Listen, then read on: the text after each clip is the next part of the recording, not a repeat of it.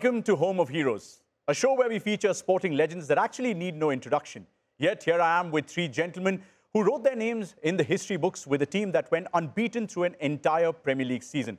They were brought together as a band of brothers by legendary Arsenal manager Arsene Wenger and then went into footballing folklore as a bunch of unbeaten warriors. Let me welcome Robert Pires, Sol Campbell and Gilberto Silva, our Arsenal Invincibles. Home of Heroes, gentlemen. uh, before I get to any questions, let me uh, make you turn around and have a look at that picture, which will possibly remain in all of our memories, let alone yours, as the culmination of a sporting achievement yet unmatched and unprecedented in British footballing history. But Sol, as you jog down memory lane, looking at uh, those smiling faces just behind you, two decades on, Woo. what does it mean to be an invincible still, till, till this date, and what did it mean to you back then? Well, I think um, back then we didn't really know, you know, what we really achieved because um, until people start talking to us and realizing how long and the length of time this kind of record kind of had stood, um, and then after you, it really sinks in, and then two decades on, you see people nearly there uh, or assemble amazing team and don't make it. Um, then you realize how special the, uh, the accolade and the special um, feeling and players and, and everything, the whole mixture of, of, of what we were producing and the manager and the club, everything around the club and how we, how we kind of achieved this um, amazing kind of feat. Two years before this, Robert, and I'd like, your, like to take your attention to a very famous picture. You'd already achieved the double with Arsenal, right? You'd won the Premier League, you'd won the FA Cup as well, and there were teammates of yours who were buying, bowing down to you as you were holding the trophy aloft. I remember, I, I wonder if you remember this picture just uh, next to you, back there. Uh, but why was it different to be an invincible with Arsenal two years later? Uh, oh, this is a good question, but I remember the, this picture. For me, uh, I think it's one of the best uh, moments during my career because, of course, we, we won the title, but at this moment I was injured for six months. You know, 2004, it was amazing, outstanding season uh, for everything. Of course, uh, thanks Arsene Wenger, the boss, and he find the, I think the good mix, you know, between, of course, English players, but foreigners players, like French players, Brazilian players, uh, Dutch players, Spanish players, Germans? Yeah. Germans, like uh, Jens Lehmann. So that's why I'm very, for me, I'm very happy, proud uh, to be part on this uh, on this team. Great memories, right? But you spoke of the Brazilian, so let's get to the Brazilian then in Gilberto Silva. Now, Gilberto, now you'd already won a World Cup with, uh, with Brazil, right? You played with some great players. You played, you were a part of a great Brazilian team. But why was it different to be an invincible with Arsenal, even after having picked up the one trophy that every footballer wants to win? Yes, um, for me, arriving at, at the club after the World Cup was something uh, very significant and very important in my career. It's a continuation of what we had done, you know, uh, quite recently with Brazil. But uh, in the meantime, for me, it's like um, going to Arsenal when I went was just just start a new chapter of my career. But you have to start from scratch, build up things because I went to England, I could not speak English. I could, I did not understand exactly what the culture like, what the football, and I knew it was a physical football. It was very physical. I remember the first few days, I could not walk after two, three days, you know, properly, because I was full of pain in my body. But you have to adapt.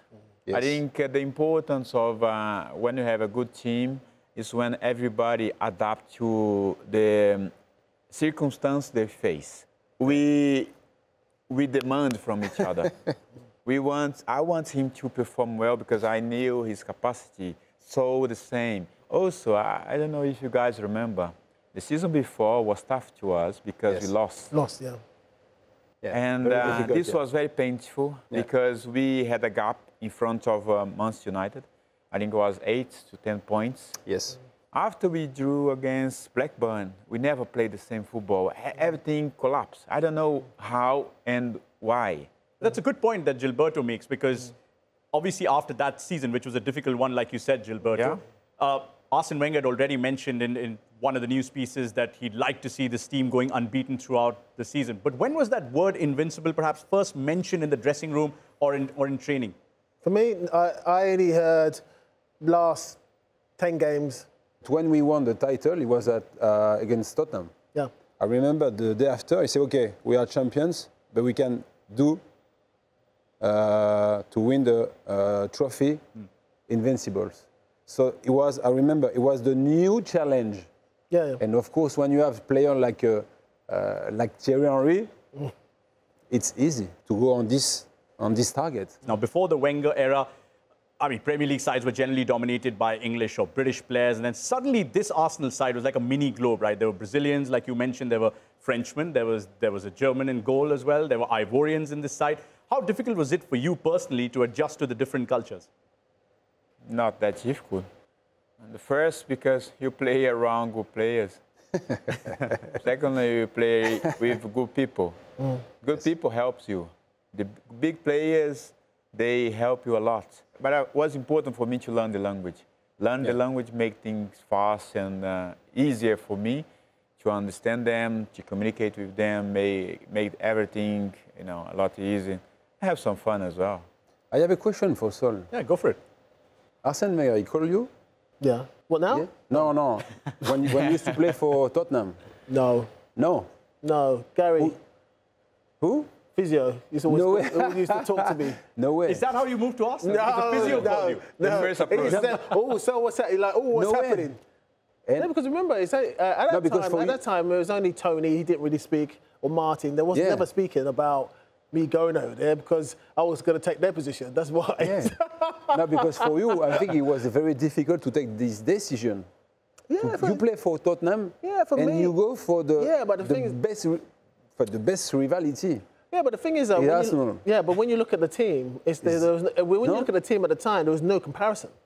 No problem for this guy, right? Because the gaffer speaks French or spoke French, and uh, Thierry Henry was in this side. There's a very famous picture of you and Thierry Henry as well. The captain, Patrick Vieira, spoke French. Was it easier for you to just adjust to the ethos and philosophy of the team because guys like Thierry were in the side? Do you remember this picture, by the way? Yes, always. uh, What's he saying to you? he, he loved to Pass talk. He loved, he loved to talk, uh, pass the ball. Uh, you know, Thierry. Get the ball passed to me. I want to score. Yeah, I want to score. You need when you have the ball, you need to play with me. Ah, Okay, okay, no problem. Is he, is he looking at your boots, Robert, there? Or does he, does no, he no, no, he, no, no, no. He, he, he explained something on the on the field, the position, uh, the movement of uh, of him. Uh, he's, he's Thierry. Thierry is a, you know, a perfectionist. Yeah, Yeah, yeah. Thierry. yeah. Thierry, he loved the, all the Thierry, but uh, uh, Thi- Thierry uh, is one of the best striker for me. On this moment, he was. Uh, maybe number number two, just behind uh, Ronaldo, the Brazilian. But he was amazing player. What about the skipper, though, Gilberto? Patrick Vieira. Now, I, I remember when Brazil won the World Cup uh, in Yokohama in 2002. Uh, Arsene Wenger obviously wanted you to slot in alongside Patrick Vieira in the middle of the park after Emmanuel Petit, uh, just grown older perhaps uh, for, for Arsenal by then. What was his message to you, and uh, what was it like playing with uh, Patrick in the middle of the park with the captain himself? It was great to play alongside Patrick. I think for both of us, we help each other. It was quite easy to understand, you know. Uh, as we mentioned, when you play with good players, things easy you know, on the field because we facilitate things, they facilitate things for, for, your, for you. He helped me a lot, you know, and to understand that he was a fighter. You know, we knew we could rely on him, you know, as a captain on the field. When Patrick was on the field, there was something different. Just have a look at that, Gilberto, right? There's so much silk and steel in there. Uh, see, Vieira's in there. You can see a certain Ashley Cole who then moved to a different London club. Uh, Roberts, obviously, there. Very different hairstyle to what he has now. Thierry Henry resembling Sol Campbell more now uh, with uh, the paucity of hair, perhaps. Good memories of this? Uh, very good memories, you know. You see the He was in uh, Tottenham. this one. Yeah, when we when we won the title. Oh wow! This is that picture when he was still making his mind up whether to pick the physio squad. Yeah. yeah. But uh, you know, this uh, it was amazing. You know, these these guys, you know, they they are amazing. uh, totally different of the, the quality, but at the end, uh, is on, is on only one word to win, to win together. Yeah. And of course, uh, they have only four players, but I think um, I'm agree with Gigi. Is that it was the team. And of course, all brought together by uh, the Yeah. manager himself, Arsene Wenger. Where would you where would you rate Arsene Wenger amongst the greatest managers that you've ever worked under, worked with, or worked against? Ah, for me, Arsene uh, is uh, one of the best manager. Um, I know him since a long, long time because he's French. Uh, I'm French. Um, I used to play for Marseille. He was uh, in Monaco, and uh, I remember because he called me uh, six months uh, before I uh, I joined Arsenal, and for me, yeah, it was a it was a great call from Arsene, from Arsenal, and um, I said, he said, yeah, I want you because maybe I will lost Marc Overmars. So I need you, I want you. I say, wow, thank you very much. uh, and and six months after, yeah, I, I joined, uh, I joined, uh, yeah, Arsenal. It was in 2000. Thanks for staying with us on this episode of Home of Heroes. It's a very special one because we're in conversation with not one, not two, but three Arsenal invincibles. Robert Pires, Sol Campbell, Gilberto Silva, welcome back. Now, before the break, we spoke about how this uh, band of brothers came together, brought together by the legendary manager Arsene Wenger. We now move to the battles within the war. And if Sol, I could put you on the spot. Which is the one battle in this invincible run that really stood out for you? Um, I would say against Liverpool. Anfield? Yeah, Okay. amazing. It didn't, it didn't, quite, it didn't quite start well against Everton uh, because a certain Sol Campbell Oh, was, uh, was, Everton. was shown, was shown Oh, a red I- card in the 25th I, minute. I forgot. I've forgotten that one. I can't remember that one. You have to show me. Okay. Later. Well, we, we got a picture. We got a, a picture to reference that. Uh, there's a certain Yeah, Gravesen that is- lying on I did floor. nothing. I did nothing. I did nothing. What's he doing there? Is that him on the floor? Yes, look. Ah, that's it. I think it was. Um, it was an accident. I think the referee. If, it, if we had VAR, they would have come back and said, "Okay, no, no, yellow." Yeah. It's an Yeah. accident to Yeah. a truck. Very small. Yellow for you as well, Robert, in, on that challenge. I can't Do you remember? I can't remember. He's saying no. That's a definite. No, but Gravesen, No huh? idea. Yeah, it's tough, huh? It's tough. It is. It's Yeah, tough. he's a tough it's, guy. it's not. Uh, uh, oh, oh, it's not uh, weak. Yeah. Okay, moving on. Uh, the Battle of Old Trafford comes to mind, right? Uh, Gilberto, now uh, you were the one playing that game. In fact, uh, these two guys didn't feature in that game, at least in the 11. Uh, what do you remember from that game? Because there were some really heated exchanges, as we'll see in some of the pictures that'll come right behind you. Oh, you have memories of that game? Yeah, yeah, very clear. Let's talk us through it. yeah, you know, it's like The um, look the diver. No, the game, the rivalry was like was quite tough. You know, it was quite fun on Ronaldo because he pushed somebody and run. Yeah. But um, everyone knew about the rivalry between the two clubs, and uh, we knew that was going to be hard then. And um, somehow Patrick got sent off. I think the game was nil-nil. And um, it was very strange the way he got sent off because he did not, you know, uh, hit uh, Nistelrooy. Uh, somehow the referee gave him the, the red card, was big tension. Afterwards, they gave a penalty for them. You know, it was quite disappointed for us, and uh, we, uh, what now? Gonna lose, you know, we won a very good run. And um, they miss it, and uh, somehow the ball, we kick it away, and then start some arguments. Martin Keown came and fly over Van Nistelrooy, The famous chop. arms open. Yeah. And Do you now, in retrospect, uh, miss out on that on that party that we just saw in the pictures? No, no, it's all about we're all a team. Some of us going to be for the majority of games, and others only say three or four, or five games. You know, uh, it's all about a team, and uh, this is what I'm trying to kind of say. These type of accolades, I think for me, spiritually, it's like it picks you. You don't pick it. And one of those moments was uh, how Anfield chose this man, right? Robert Pires scoring that winner, and there was some, there was a, there was a hefty celebration as well. It, it obviously meant quite a lot to you, Robert, as you can see in that picture, Oh, that scoring that winner. Do you remember that goal in particular? You remember the feeling after the, after the win? Uh, yes, of course. I remember the, about the feeling. Uh, not not because I, I scored, but because we we won two one in uh, Anfield. And I think uh, this day was a great, great performance for, for Arsenal. I think he's one of the best goal I scored with, uh, with this club. I, I want to talk always about the team, about the players, uh, about the spirit, about the commitment. Uh, and we, for example, just before we talk about against uh, Man United, we fight together. When one player is in trouble, we go to help the player. Which was a more difficult place to visit, Anfield or Old Trafford back in, back in that season? I think both. But uh, I think the rivalry between Arsenal and Manchester United was, for me, I consider it bigger at that time because they fight each other for title Yeah. many of the time, you know, many times. And uh, but every time when they go to Highbury was was tough to them because we need to give back something, you know. When we went there, was tough to us. Same for them. I, I used to find that out of Manchester United, Liverpool back then, I used to find going to Anfield playing it there harder than Manchester United. Um, Because of the atmosphere? or- I don't know. It's just one of those stadiums that you had to, like, if you weren't on it, you really got ripped apart. You know, if you weren't on it at thought- that time. At I, that I thought you might pick White Hart Lane, right? Because there were plenty of plenty of draws uh, where you had to grind it out as well, like the one at Old Trafford, and then one at White Hart Lane, right? In that famous 2-2 score. And there was a famous banner that was put out. Why did Sol leave the lane? Arsenal champions 43 years, and you're still waiting. Why did you leave the lane, Sol? I think it just is self-explanatory up there.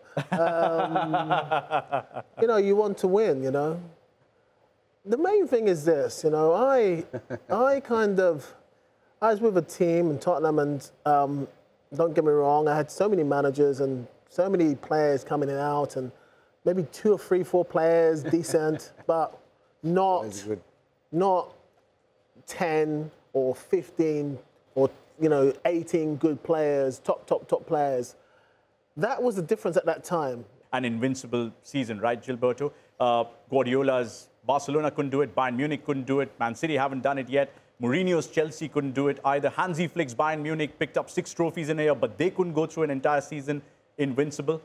Will it ever be repeated, according to you? Well, I don't know. I don't know if it's going to be repeated. I think a record does exist to be broken, Yes. but uh, it's not that simple.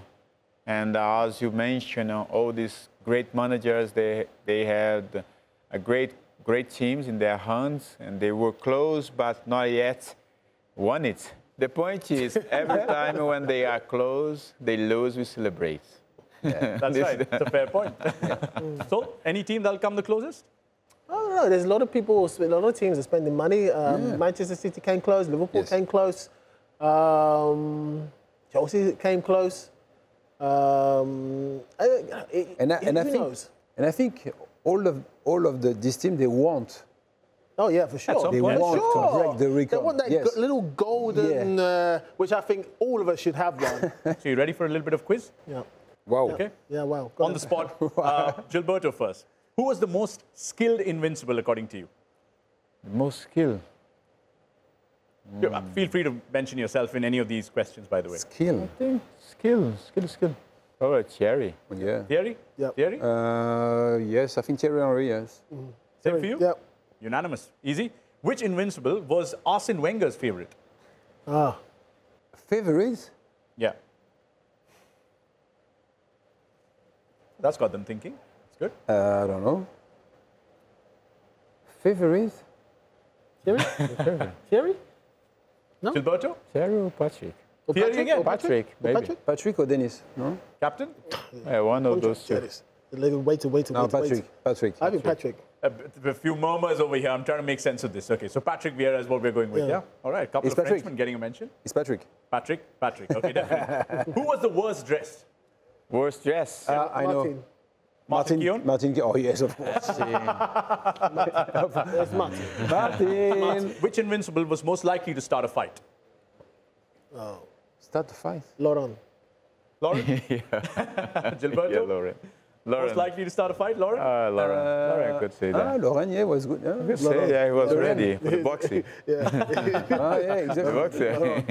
he, he loved the. He loved the. the He loved box. to box. Yeah. He loved to box. Yeah. I know he plays the mandolin. Which invincible uh, had the best taste in music? The best? I think Turn the, the dressing room, Thierry used, Thierry, used to always with the bring. music. u- Ah, yeah, used Thierry to Henry. bring. Thierry. yeah. Henry, best tasting Yeah. music. You didn't Some like him playing his mandolin in the other room? Yeah. Mandolin? Okay, who knew the best restaurants in London? I'm assuming Sol or somebody else. Sorry? Momos? Ah, momos. Ah, yes, nice. not bad, not bad. Okay, yes. so I, I'm, I'm assuming there's no one answer to this No. one, right? We all knew. We all Not- knew I think we all knew Something different, and- yeah. different types of. Okay, which invincible would you pick to fight Roy Keane in a boxing match? Patrick. yes, of course. Patrick. Patrick. No which problem. invincible hated Man United the most? Uh, eight. Man United. Martin?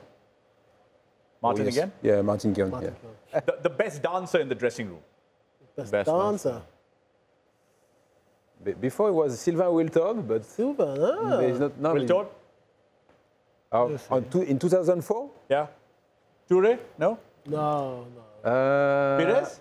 No, me no. Oof, no, no, very Come on, bad. Sol. Very Give bad. us something. Still Campbell. Sol Campbell, okay. Humble as ever. What about you, Gilberto? Samba. Let, let's see. I would like to see. Let, let's, uh, let's show some flavor. Let's see. Let's you you- have a dance off? Go for it. Can you uh, can you put the music, please? Put the salsa. did Put you the see me- did you see me last what, Saturday? music? Ooh, Salsa? yeah, what, what, what kind of Oh, song? you saw me last Saturday. Last one. Who was the naughtiest player in the team? The notice. Notice? Rayla, Ray or Ray. Wiltord? I think Ray. No, Ray. Ray. Ray. Yeah, Ray Parlour. Ray Parlour. Ray Parlour. Ray Parlour. Yeah. Okay. Yes. I just thought I'll ask you guys this to finish things off on Home of Heroes. How do you want to be remembered uh, with Arsenal fans, or perhaps fans the world over, Robert? I think. Uh, Of course, for the achievement that you had. Yeah, the achievement it was very, uh, very good. Um, I think uh, all the Arsenal fans they are very proud about this, uh, this team. We fight. I said we fight during 10 months, and 10 months, believe me, is long. It's a long way. So I think for the fans, it was yeah, it was an amazing season. And um, for me, it was always special. I don't know for, for you, but very special to play at uh, Highbury Stadium. Yeah, it was closer It was it was. fantastic. It was close. So that's why I think you know, communication between fans and player. It was for me, yeah, it was, yeah, outstanding. Yeah. To a lot of teenagers watching this who may not know too much about Highbury and perhaps the achievement of the Invincibles, what would you say to the current crop that are now supporting Mikel Arteta's side and hoping they achieve this? Well, I think for me, it's all about, you know, they're choosing their own pathway, uh, doing it in a different way, but obviously doing it in a, you know, they're fighting as well. They're, they're really trying, to, they're playing really good football. Um, it's all about consistency now and maintaining that. If they stick together and they kind of be true to themselves and play to their maximum and be a family and be close knitted and, uh, and uh, humble about it as well, Yeah. never lose your way. Just keep playing and keep winning. Don't get too high, don't get too low, be consistent, then they'll do it. But if something else happens, then it's going to be difficult for them to get over the line and win. Gilberto, over to you. With all the Arsenal fans in India watching this and watching you and celebrating this achievement as we speak. Yeah, It was, it was great, you know, it's great moments in life. This is once in a lifetime you have this opportunity to be there. I also said, we don't choose it, we were chosen. And the good thing is that look back and uh, see that we left a good place for others. We leave the club in a better place, a better position. We did the best to build uh, Arsenal strong, to put them in a place where everybody knows about the club. When they say Arsenal, they somehow remember a little bit of us. I couldn't have summed it up better. Gilberto, thank you so much. It's been a lot of fun. It's been a real privilege having you guys with Thank us on this episode of uh, Home of Heroes. Hope you guys enjoyed it. If you did, just tell us uh, why. But until the next episode of Home of Heroes, from all the Arsenal Invincibles and myself, it's goodbye.